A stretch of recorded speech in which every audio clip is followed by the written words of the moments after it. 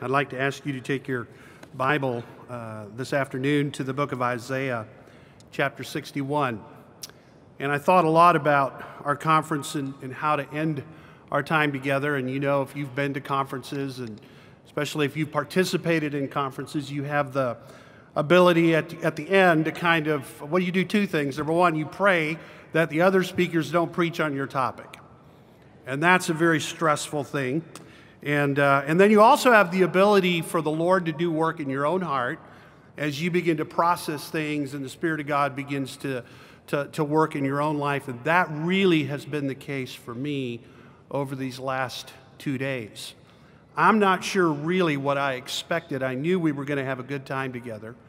And I knew this was a topic that is of great interest and of deep value to the body of Christ and to those who minister in that body, whether formally and vocationally or, or, or, just as ministers of grace through the Word of God in the personal ministry that God has given us in the body of Christ. So I, I knew we were going to have a good time. I knew that we were going to be deeply informed and challenged.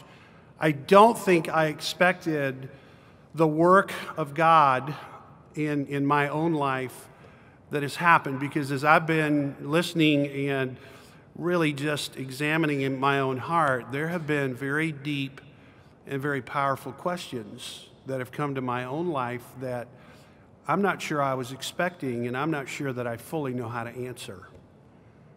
So, for example, one question that has come to my life is this So, how many genuine friendships do I have in the community of people that we just heard Rosaria Butterfield talk about. I have been a pastor for most of my adult life. I have pastored in communities where there are people who have identified themselves and, and struggle in the ways that Rosaria presented to us. I have acquaintances in my life that would, would, would say that they are same sex attracted or that they are part of the gay community. I have been nice to them, I hope. But where are the friendships in my life that she described with the pastor who opened up his home to her and over a process of two years didn't just talk the gospel to her, but actually lived it out? I don't know if that question is unique to me, but it is definitely a question that has left me very uncomfortable and very disquieted, and, and one that I'm not quite sure what to do with other than to bring it to the Lord and say, The Lord, Lord, I don't know how to resolve this, but I'm going to put it before you and ask you to resolve it for me. Another thing that came to mind as I've been listening and processing and talking to our speakers and processing things that I've heard is, is what I want to talk about today, and that is that in, in every session and in almost every conversation, there has been this reality that, that and one of the things I've appreciated about our speakers is their transparency. I mean, it has been unbelievably transparent and, and, and biblically faithful in their fidelity to truth.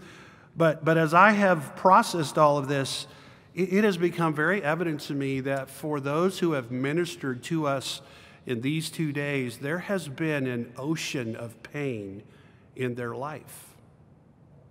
And the grace that I'm receiving from them, the, the benefit that I have uh, received this week, has come out of that pain. And so, uh, as I began thinking about the message I was originally going to give at this session, God, God just began directing me to a passage that I've called to your attention. And I want to read it to you uh, this afternoon. Isaiah 61 says this, beginning in verse 1 The Spirit of the Lord God is upon me, because the Lord has anointed me to preach good tidings unto the meek. He has sent me to bind up the brokenhearted, to proclaim liberty to the captives, and the opening of the prison to them that are bound to proclaim the acceptable year of the Lord and the day of vengeance of our God. And then notice this to comfort all that mourn. to appoint unto them that mourn in Zion, to give unto them beauty for ashes, the oil of joy for mourning, the garment of praise for the spirit of heaviness, that they might be called trees of righteousness, the planting of the Lord, that he might be glorified. So, what I thought I would do as we come to the end of our conference together is to simply ask and, and, and try to look at what the scripture has to say about the navigating of pain and suffering that comes to the life of every believer. We have, we have heard of it in the life of our speakers, but if the truth be known, every single one of us sitting out here in, in this conference, and, and really, I don't know of a Christian anywhere who has not experienced at some point in their life deep suffering and prolonged pain. And sometimes we don't quite know what to do with that. And I think it's important as we go to a text like Isaiah 61, and we'll be looking at a text in 1 Peter 5 in just a moment, that, that we navigate the pain that comes into our life well because there are, there are compelling reasons for this. Let, let me give you three of them, and then we'll pray together and, and look at our text. It is, it is a reality in our life, it is a present and repeated reality. Pain and suffering come into every life. And we'll, we'll talk about the contours of that here in just a moment, but think about the most perfect individual that ever lived on the planet, the Lord Jesus Christ Himself, and His life included prolonged suffering and deep personal pain. And so I think it's important that we learn to navigate the contours of pain carefully and biblically because it's a present and repeated reality in our life. It's also a very real and a very present danger in our lives.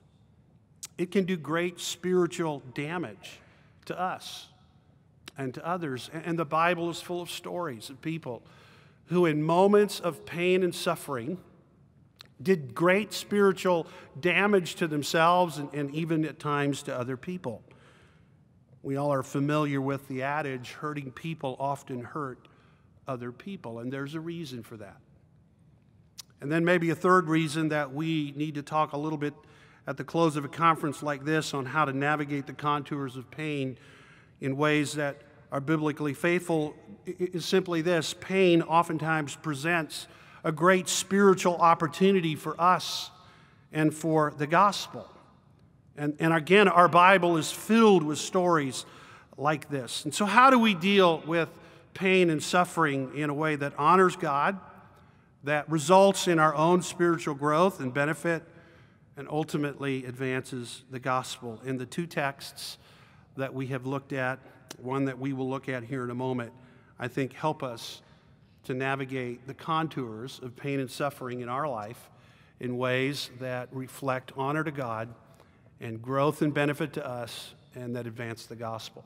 But before we get into that, let's pray, shall we, and ask the Lord to bless our time in His Word. Father, as we come now to this final moment, as we look now to your Word and to portions of your Word that deal with this very real and very present part of our life that comes to every one of us, we, we pray that you would give us grace to hear your Word and insight to understand it and the willingness to embrace it and obey it. And we'll thank you for it. In Jesus' name, amen. I would suggest that navigating the contours of pain and suffering in, in lives like our own starts here. We, we have to come to terms with the reality of pain and suffering. That, that in fact, it is a part of life and, and it is not going to change that between now and the time we stand in the presence of the Lord, we are going to encounter repeated episodes of suffering and pain. And nothing will test the mettle of our faith and of our endurance as, as we walk with God quite like pain and suffering. So, what does the scripture have to say that will help us come to terms with the reality of pain and suffering in our life. And, and I would suggest that, that as we think about this, that we recognize some things that, that suffering tests us by pushing us to the limits of our endurance. I mean, how many times do you find yourself saying with Job, How long can I endure this? I mean, there have been times in my life, and I'm sure there have been times in your life, where, where the pain and the suffering and the emotional weight that comes with all of that puts you in a place where, in your conversation with God, you're asking those kinds of questions. Lord, how, how much longer can I endure this, and how much more of this can I take? So, suffering tests us because it pushes us to the limits of our endurance. And sometimes we think it's going to push us even beyond our ability. Suffering disorients and confuses us because we don't always understand the reason or the cause or the source or the point to our suffering and our pain. And so we tend to ask God questions like this Why are you allowing this? What possible purpose are you trying to accomplish through this? Why are you not resolving and relieving this? So, suffering disorients and confuses us because we don't always know the reason or comprehend the point to our suffering and pain. And then notice that when it is prolonged and painful, it can actually cause me to doubt fundamental realities about God. And this is really the history of many, many people who have labored through a journey with pain and suffering. For example, we, we question God's love and affection for us, and, and, and we start wondering, what in the world have I done that has so displeased God that, that He would bring this upon me? Why is He angry with me? Has he forgotten or abandoned me? This is really the testimony of the pilgrim we encounter in Psalm 119 when he sort of lifts up his voice to God and he begins to cry out, Why have you abandoned me? I feel like a wineskin that you hung up in the rafters, and when you put me up there, I was, I was uh, young and supple, and now that, that wineskin is aged and is brittle, it has been there so long. We tend to ask ourselves questions about God's power and ability to care and provide for us. If He's truly loving, and I believe that He is, then He must not have the ability to deliver me from this, or He must not really be fully aware that this is happening in my life. And sometimes we question God's plan and purpose for all of this. How can this kind of pain and this kind of loss and this kind of suffering be God's good and acceptable plan for my life? And I'll just stop here for a moment and speak as a pastor. I spent most of my adult ministry pastoring people, and it's very easy to preach on suffering and it's very easy to talk theologically about suffering. And it's very easy to go quickly to Romans 8 28 and Romans 12 1 and 2. But it's extraordinarily hard when all of a sudden you find yourself in the crucible of pain that is deep and prolonged. And God seems to be absent, and He certainly seems to be silent. And you know all the things to do because you've preached those things to others. You know to read your Bible. You know to pray. You know the disciplines uh, of grace and the means of grace. You don't abandon the body of Christ. You listen to preaching. You partake of the elements that are so graciously given as a way to remind us of the incredible sacrifice. You, you follow the disciplines that are laid out in the scriptures for prayer in, in community. And over time, it seems like the desert just keeps going on and on and on. And even, even in the position of one who has studied theology and has preached to others, you really do start to wonder about fundamental realities that you have taught others about God. And in the midst of all of this, God acknowledges the reality of suffering in the lives of his children. Listen to 1 Peter chapter 4 verse 12. Peter writing to people like us says beloved and he's addressing them and this is sort of a title. This is not this is not Paul saying or Peter rather saying to them, "Hey, I love you." There's somebody greater that he's reminding them of that feels this way about them. You are beloved people, and the person who loves you like this is God. Beloved, think it not strange concerning the fiery trial, which is to try you as though some strange thing happened unto you. Some unique and alien thing is going on in your life. And, and Peter is helping to remind us that, that pain and suffering in our life is inevitable, it will come. And when it comes, it will be like this a fiery trial. It is excruciatingly painful. God does not hide this from us. Peter goes on in verse 19 of the fourth chapter of his first letter and says, Wherefore let them that suffer, and there's an amazing little phrase here, according to the will of God. In other words, Peter is saying to people like us that there are going to be seasons in your life, there are going to be sections of the journey of faith for you that in the will of God are going to involve deep pain and prolonged suffering.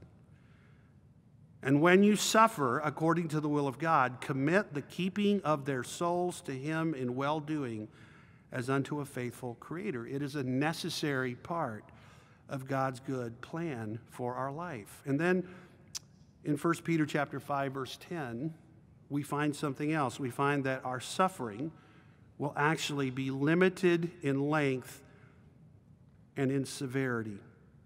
Notice what Peter says, but the God of all grace who hath called us unto his eternal glory by Christ Jesus, after that you have suffered a while, make you perfect, establish, strengthen, and settle you. In 1 Corinthians 10:13 in a very similar way notes that the severity of our pain and suffering will be limited by an all-wise God who will not tempt you beyond your ability.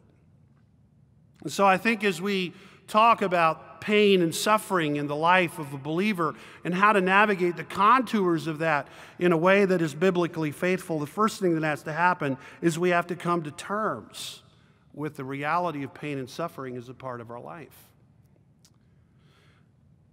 And that brings us to the second question, and that is, well, why? Why is it there? And, and how did it get there? And so I think the next thing that has to happen in our own understanding of a theology of pain and suffering is to, to comprehend, to understand its roots. What are the roots of pain and suffering in the life of a believer? And, and these are not complicated roots, these are are not new ideas, but, but let me just, for the sake of putting them out there for us, say that generally all suffering is rooted in sin. All pain is rooted in sin. I'm not suggesting that your personal sin is, is what, what is responsible for all of the pain in your life. I'm just suggesting that pain in the world and suffering in the world originated somewhere.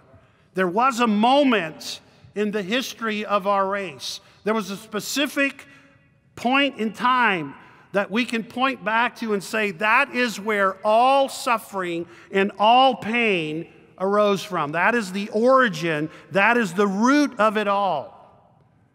And there is a monumental thing that happened that had earth shaking impact on the entire race. And that moment is identified for us and it is, it is recorded for us in Genesis chapter 3, verse 17 through verse 19, when God spoke not to our mother, Eve, but to our father, Adam. And he said to Adam, Because you, the weight of all of this rests on Adam, because you have listened to the voice of your wife as opposed to my words, because you have listened to the voice of your wife and have eaten of the tree which I commanded you, you shall not eat of it. Cursed is the ground because of you. And then notice the text, and I'm reading it out of the ESV for clarity. In pain you shall eat of it all the days of your life. Thorns and thistles it shall bring forth for you, and you shall eat the plants of the field. By the sweat of your face you shall eat bread till you return to the ground, for out of it you were taken, for you are dust, and to dust you shall return.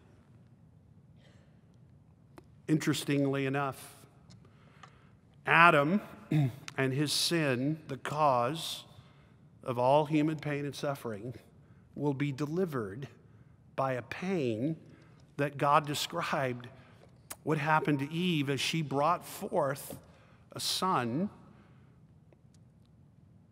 And over time, through the lineage of Eve, would come a son who would suffer all the pain of the world and bear away the sins of the world and make it possible for us to go back to that garden that we started it. And so we could say the origin of pain, the root of suffering, generally is in sin, but specifically it comes from the depravity and the brokenness of living as fallen people in a cursed world.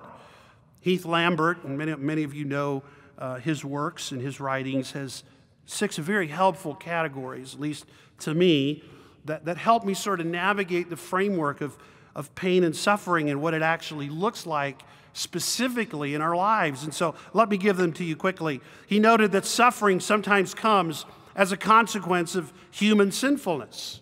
Let me give you some examples. Sometimes suffering comes into our life and pain enters through the carelessness of others. Do you remember Mephibosheth, Saul's son, who was lame for life because someone who loved him and was trying to save him and protect him dropped him at five years of age. And for the rest of his life, he was lame. 2 Samuel chapter 4 tells us the story. Or sometimes pain and suffering come into our life because of the sins of another person. Remember the story of Abigail in the Old Testament in 1 Samuel 25, who lived with a husband whose name was Nabal. And his name represented his heart and his character. Someone whose heart was like stone toward God and who was harsh and who behaved badly toward others. Or sometimes intense pain and suffering come into our life because of our own sins. You can't begin to read Psalm 32 without recognizing that David is giving you the anatomy of his own confession. And, and, and there was a, an extended period of time when, because of his own sin and his, his refusal to acknowledge that sin before God, that his inner heart was tortured with pain that came because of this. And so suffering comes at times from human sinfulness. Lambert says suffering also comes from living in a cursed world. And you have things like a man being born blind in John chapter 9, verse 2, or the loss of a child through a disease like Tabitha in Matthew chapter 9, or physical infirmity and disability like the woman with an issue of blood in Matthew chapter 9, or simply suffering because you love Jesus in a hostile world. In John 15, verse 18, if the world hates you, know that it hated me before it hated you. And so sometimes suffering comes because we live in a cursed world. Sometimes suffering comes from Satan. Peter in 1 Peter 5, verse 8, reminds us that he is a roaring, raging lion who is aggressively, intentionally seeking to devour and destroy God's image bearers. Ferocious hatred, paralyzing fear, crushing guilt all come because of the attack of this evil one. Lambert had a fourth category suffering that comes from the pain of others. And we've already sort of talked about pain at the hands of others. Many of you in this room know the betrayal of a spouse or the sin of a child or the betrayal of a close friend that you trusted or the loss of ministry by the hand of someone you loved and served or a congregation that you loved. You know that pain. You, you've lived that pain. And that pain has come at the hands of others. But sometimes it's pain on the account of others. It's pain you feel as you watch other people make choices. For example, in Romans chapter 9, verses 2 and 3, there's a, a very unusual statement by the Apostle Paul where he, he transparently tells you how he feels, and he talks about having great sorrow and unceasing pain because he is watching his own kinsmen reject the hope of Israel. Sometimes suffering comes from profound confusion because we are not God. We are not omniscient. We, we don't know all things, and we don't even know that what we know is fully accurate. I mean, sometimes we, we know, and, and, and sometimes we, we know that we don't know, but oftentimes we, we don't know that we don't know, and we don't know what we don't know. I'll never forget the illustration many years ago that reminded me of this, uh, and, and, it resonated me because I, I, do quite a bit of travel in the ministry that God has afforded me, and I'm, I'm so thankful for those uh, times of ministry. But, but imagine I'm on a, a plane uh, or getting ready to board a plane, and, and I have a few moments before the flight, and, and I go and I, I buy a newspaper, and, and there are two things that I am so thankful for that are in a broken world that sort of make a broken world bearable. One is Coke Zero. And I, I just, I think it's one of the greatest gifts. I'm actually hopeful that it'll be in the new uh, kingdom. And the other is peanut butter crackers. You know I'm talking about? Those orange peanut butter crackers. They come in a pack, and I think there's generally you can get you can get you know six in a pack, and if sometimes you get the big pack that has four rows, so there's eight of them in a pack. And so imagine that I have that, and I have my, my Coke Zero and my newspaper, and I'm sitting down, and there's a, a lady next to me, and I put my stuff down, and, and uh, I start reading the paper. And I hear a sort of crinkly noise, and I, I kind of look over the edge of the paper, and here is this woman opening up my pack of crackers and she takes one out and proceeds to eat it. And then I reach over and just grab the pack of crackers out of her hand and take one and eat it. I'm not going to let her eat all my crackers. And I put the pack of crackers down and I keep reading my paper, and the next thing I know, I see this little hand coming and grabbing the crackers. And, and she takes another one out, and now there are five crackers left. I'm counting. So I look at her and I take the cracker pack back and I eat two. And then she reaches over and takes another cracker, and I'm going to not let her have the last one, so I'll eat the cracker. And I just kind of look at her. I cannot believe this woman. What audacity! And so, half an hour later, we get on the plane and put all my stuff up, and and we get going, and about halfway through the flight, I'm, I'm hungry. So I think, you know, I'm going to see what I have in my bag. And I pull down my bag to get stuff out, and, and there on my bag is my unopened pack of crackers.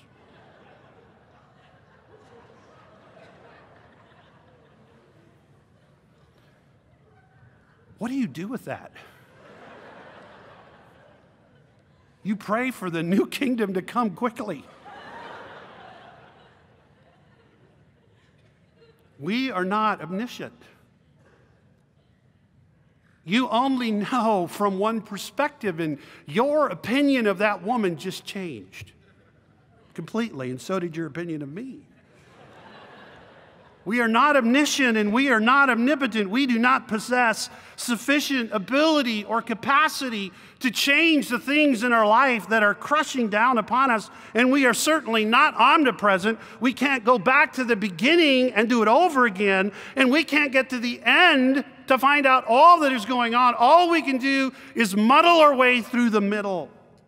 And all of this causes us great anxiety, overwhelming fear, crushing pressure compounded by the fact that God is often silent and appears absent in the midst of all of this. And if that weren't enough,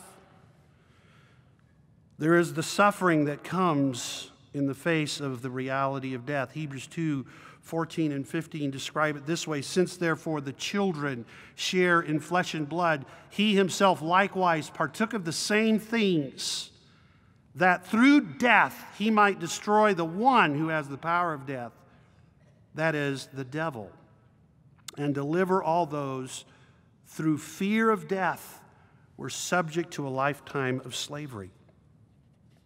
You and I face the fact that we are dying daily. There is a progressive dying that is happening to you and to me every single day. There is the daily decay, the ruin, and the humiliation of our earthly body. You and I finish or, or, or, face diminished capacity and diminished ability and diminished opportunity. And the fact is, the body you have and the body that I have, it's the only one I own. It's the only one I've ever known. And for most of us, the best and strongest days are behind us. I mean, when was the last time you went out and climbed a tree like you did when you were 10? And when you leave here, please don't go climb a tree, especially if you're over 50. I mean, the bottom line is, as I look at the body that I have and you look at the body that you have, it is diminishing in its capacity, its ability, and, and its opportunity and, and we have no real concept, at least I don't, of what a resurrected body looks like and feels like. So I live in fear of losing the body that I have. I, don't want to become a disembodied person, so I want to keep it. I want to change it. I want to modify it. I want, I want a body that fits me and who I think I am. And at the end of the day, at the end of 70 short decades, or maybe eight, or by reason of extra strength, nine, this body that has been decaying and ruining and, and humiliating itself will be planted in the ground, in the earth, like, like a dried out husk, a, a dead seed. And the devil keeps us captive to that fear. So, where do I go with all of this? What do I, what do, I do with the reality of pain and, and, and not just the reality, but the complexity of pain in my life? what, what does God actually say to me that sort of puts all of this in context? And, and really, what, God, what God's word does is it gives us reason to embrace God's purpose for pain and suffering. And, and, and let me take you to four texts that show this to us.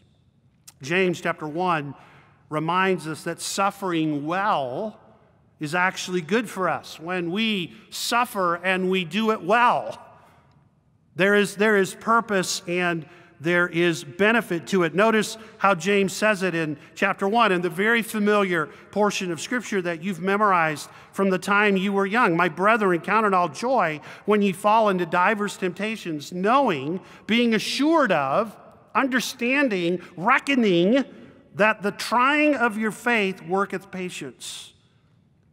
And then patience has a perfecting work, a completing work, that you may be perfect, complete, entire, lacking nothing, wanting nothing. So suffering well, according to God, is actually good for us. And it's not just good for us, it's good for others. 2 Corinthians chapter 1, verses 3 through 4 instruct us in this way Blessed be God, even the Father of our Lord Jesus Christ, the Father of mercies and the God of all comfort, who comforteth us in all our tribulation, in order that we may be able to comfort them which are in any trouble by the comfort wherewith we ourselves are comforted of God.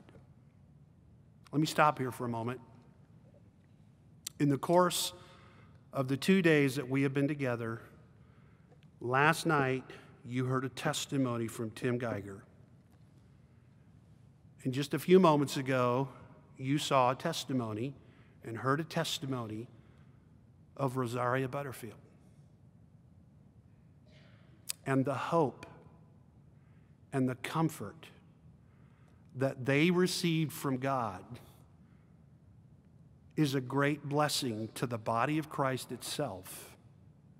And not just to the body of Christ, but to people who are themselves suffering with those same struggles. And it may be that you're not suffering in that same way. It may be that that's not the area of pain and struggle that you experience. It may be that that's not where your sinful nature exercises itself. And your regrets may not be tied to those same kinds of sinful choices. But as we saw yesterday in 1 Corinthians chapter 6, verses 9 and 10, if you can't find yourself in verse 9, you can find yourself in verse 10.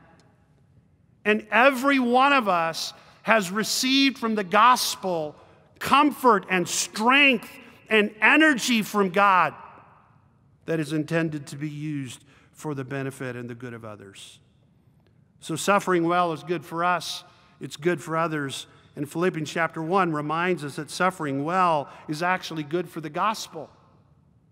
The Apostle Paul, writing to the Philippians, said, I would you should understand, brethren, that the things which have happened unto me have fallen out rather unto the furtherance of the gospel, so that my bonds in Christ are manifest in all the palace and in all other places.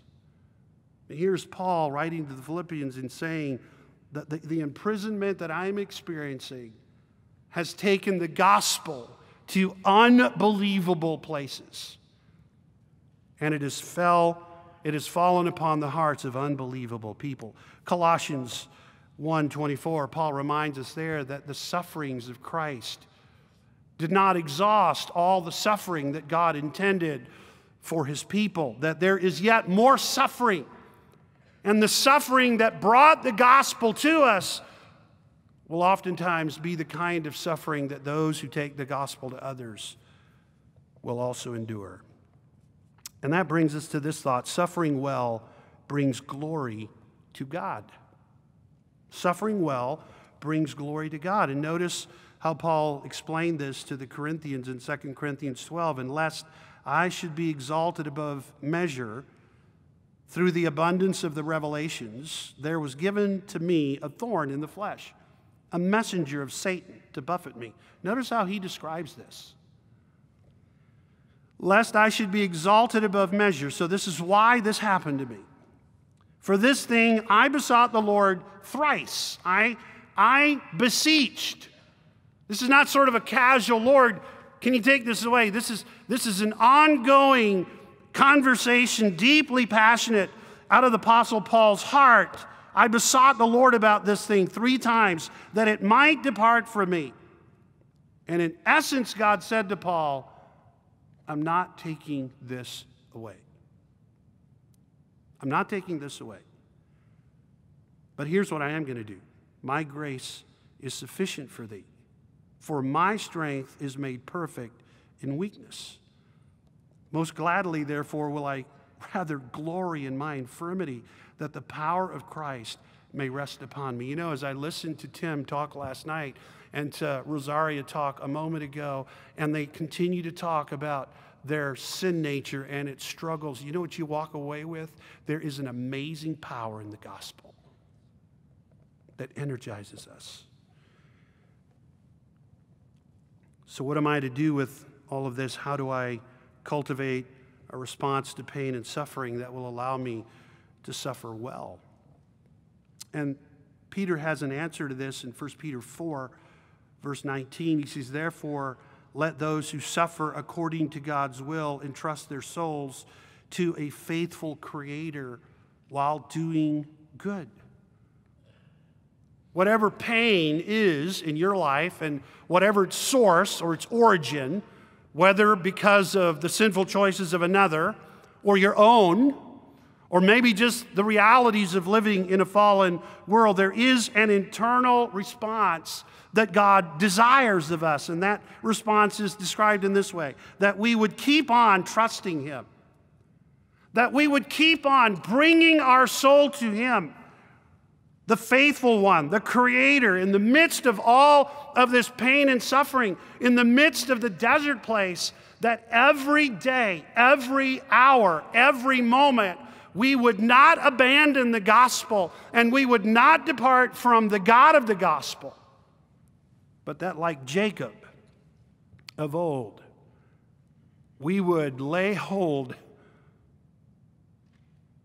on the Lord and not let go, that we would keep on entrusting our soul to our faithful Creator. And, and that inner response manifests itself in an outward way. And the outward way is this that we would keep on doing good in the midst of this season of suffering, that our trust in the invisible, silent God would lead us to keep living in obedience to the written and revealed will of that God, whichever speaks to us. And that is going to demand from us an ongoing reliance that we would depend on His grace and on His enablement. And that's exactly what we read in 1 Peter 5:10. But the God of all grace, the God who is the source of grace. And grace here is not just unmerited favor, it is, it is the energizing that comes from God. And all of this cultivation of a response like this is grounded in one final thing, and that is that, that we look confidently toward God's resolution to pain and suffering. And that's exactly what we see in 1 Peter chapter 5, verse 10. There, there is a promise in this text that Peter gives to us that is designed to sustain us in those times of prolonged suffering and deep pain when our faithful Creator seems distant and absent and silent. Peter says, But the God of all grace, who hath called us unto his eternal glory by Christ Jesus, after that ye have suffered a while, make you perfect, establish, strengthen, settle you. You know, when you read that in the King James, it sounds like a prayer or an invocation. But I want to read it to you again out of the ESV, and I want you to notice that it's actually a promise to you. Here's what Peter said and after you have suffered a little while, the God of all grace, who has called you to his eternal glory in Christ, and then here's the promise will himself. This is not something he delegates to an angel. This is not something that is intermediary. The God of all grace, who has called you to his eternal glory in Christ, he himself will do something. He will restore you.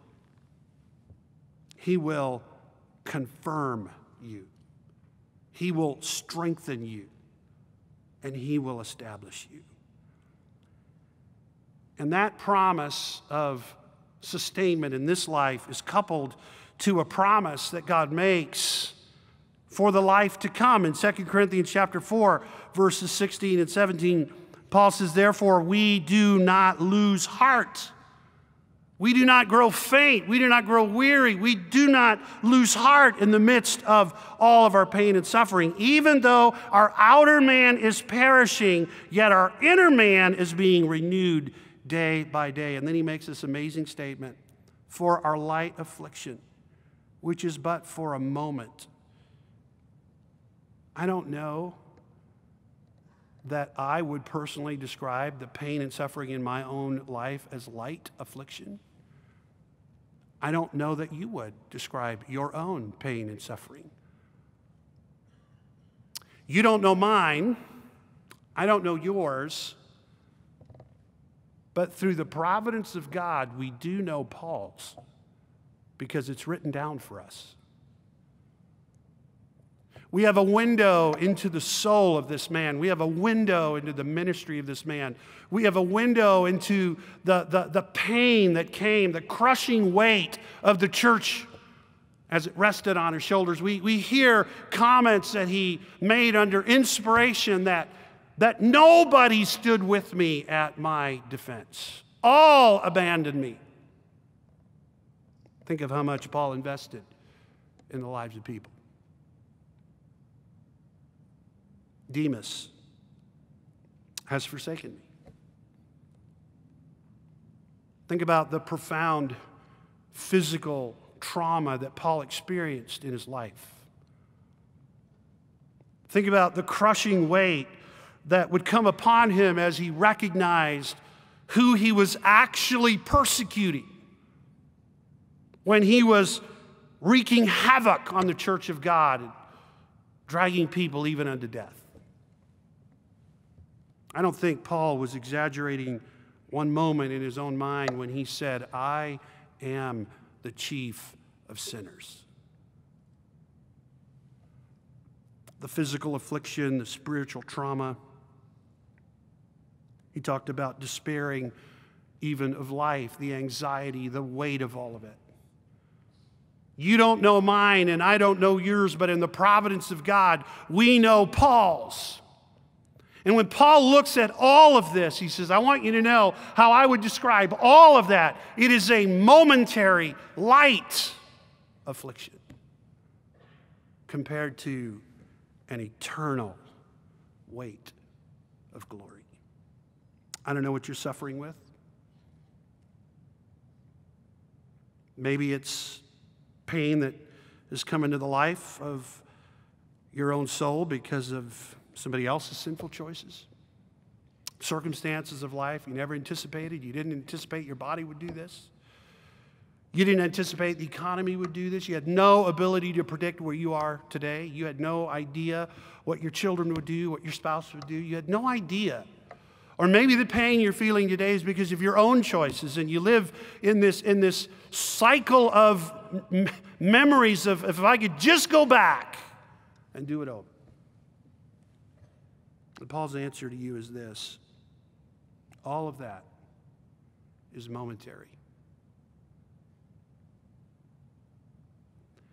What is crushing you by the grace of God is light. And one day, when you stand not too far, and not too long from now, in the presence of God, there will be an overwhelming, crushing weight of glory that will come because of all of this. So, as we close our conference, the God who never lies has told us the truth about pain and suffering. And that God, through his Son, Jesus is our merciful high priest, and he fully experienced all of that pain and suffering for us. The God who is always at work for our good and his glory never wastes that suffering. The God who is ever faithful and ever strong will sustain us in our suffering, and the God who is abundantly gracious and good will one day resolve and remove our suffering and reward us for it. So I go back to Jeremiah, or actually Isaiah rather, who reminded us that there would be a day when the one, the anointed one, would give to us beauty for ashes. He would give to us the oil of joy in place of our mourning, and He would give us a garment of praise to replace the spirit of heaviness. And because of His ministry, we would be trees of righteousness. We would be described as, as ones planted by the Lord. And when all of this happens, He will be glorified. And His name is Jesus. And you know Him and He knows you.